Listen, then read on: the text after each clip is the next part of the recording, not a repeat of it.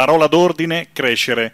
Il primo ministro britannico Boris Johnson è arrivato mercoledì sera all'Assemblea generale delle Nazioni Unite e nel suo discorso ha affrontato il tema del cambiamento climatico, annunciando il summit sul clima di Glasgow, in Scozia, previsto dal primo novembre. Il vertice COP26 di Glasgow è il punto di svolta per l'umanità. Dobbiamo limitare l'aumento delle temperature, i cui effetti spaventosi sono stati visibili anche quest'estate, con un grado e mezzo in più della media. Dobbiamo unirci per una nuova epoca che si avvicina.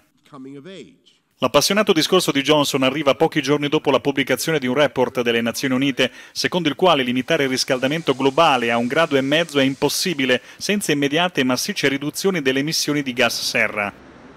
Il mondo è su un percorso catastrofico verso i 2,7 gradi, ha avvertito il segretario generale dell'ONU Guterres. Senza un cambiamento di traiettoria, la COP26 in Scozia rischia di essere un fallimento.